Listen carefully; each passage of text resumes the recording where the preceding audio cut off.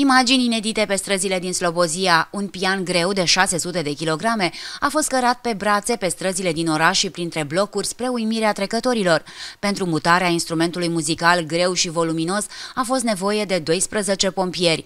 Militarii s-au oferit voluntar pentru inedita misiune. Pianul a fost transportat de la Centrul Cultural din Slobozia pe scena sălii de spectacole a Consiliului Județean Ialomița.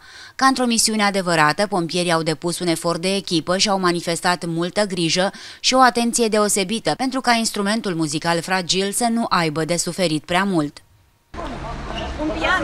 Ah, la copii? Nu la copii, nu. Hai, nu, chiar la, e, e copii.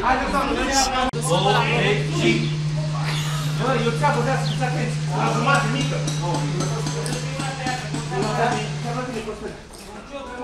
La jumătate ale lătând jos, da?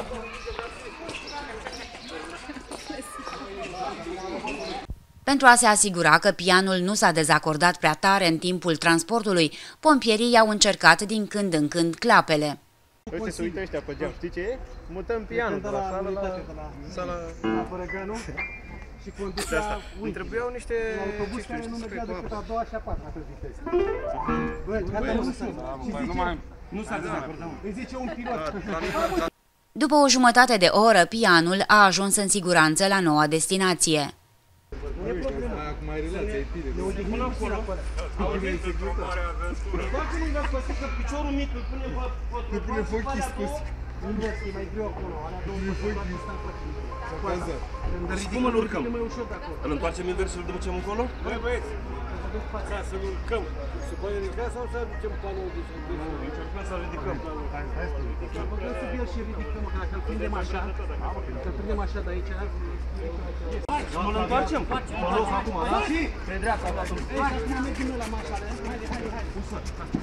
Ia, sus, sus, sus, sus.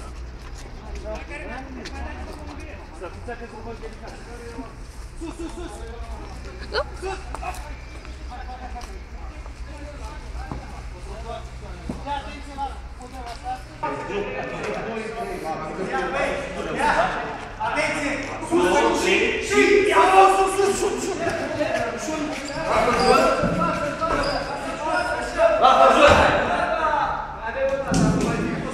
Mutarea pianului a fost necesară pentru a pregăti Festivalul Național de Interpretare a Lidului și dirijat Ionel Perlea, care se va desfășura la Slobozia în perioada 25-27 mai.